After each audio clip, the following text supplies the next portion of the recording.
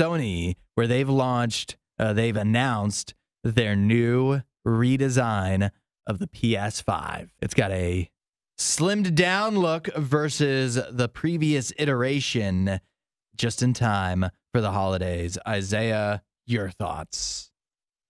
I'm a PlayStation guy. Mm-hmm. It says this one is 30% smaller. But they Wish also I was thirty percent smaller. I know, right? They also jacked up the price a bit. Oof, of course they did. How much is 30% smaller worth to you? This is the real question because it's the same. Nothing else is new. huh? Uh-huh. It's all just how the look. And it looks it looks sleek. It looks good. So how much is? How much more are we talking? Oh, I see it here. 50 more bucks. Fifty more bucks for it to be thirty percent smaller. And people like small things. They do. This is wild. I'm looking at them side by side. This is crazy. Uh huh. The only thing that's different is the new one. Uh huh. So it's got that like kind of like a, a V look to it. Yeah. It's got a little V look to it. It looks like a like a like a futuristic skyscraper. Yes, it does. It's got a nice little V. And on the old one, considering the new the PS5 old, which Yeah. is brand spanking new, but it has where you would put in the disc on the right side of it. Yeah. So there's the V and then like a little outage, a little out Uh huh. where you can slide that in there. It just essentially this one just took that off. So now it's just a full V. So you can get it either or, with the dry with the disc thing or without.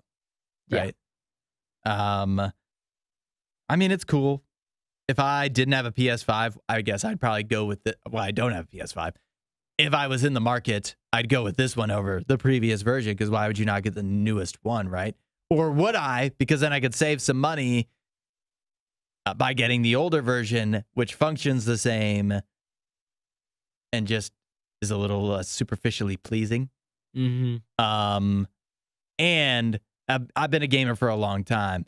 One thing I've come to realize is it doesn't matter what the game system looks like. You're not like proudly displaying it. Everybody has one. Yeah. It's probably in like a you, you keep it in a cabinet or something. Like you you have that like in your living room. it's like behind your the flex? TV. Yeah, right. Like you you bring a date back to your place and you're like, yeah, I don't know if you saw or not, but Uh huh. the new PS5, that doing anything for you? Yeah, and it's Is that I mean impressing you? I know this is like thirty percent smaller, but it's not like it's gonna save a bunch of shelf space or something. No. For, for what? Your books? What are you? What are you using that shelf An extra space for? an extra controller, Yeah, of course. obviously. Of course. I mean, uh, you can't fault Sony for coming out for improving it, but at the same time, I'm not gonna get excited about it. No, not me either. If I was gonna get a PlayStation, which I want a PlayStation 5, sounds like a fun thing to have. I have a PS4 that I don't play anymore, really. Uh, If I had the PS5, it'd probably go to waste. It is in the US $500 if you want the one that you can actually put the disc into. If you want the all digital edition, which is cool that they offer this, yeah, it's $450 because majority of people now just buy the games. yeah. Who needs the disc drive? Yeah, you don't need the disc, disc drive. You can just buy them digitally. So 450, but that still is a a thick price there. For Yeah. A, for a 30% smaller, that's a thick price. Yeah. If you like that video, there's a ton more. Go check out our past videos and subscribe so you don't miss what we do next.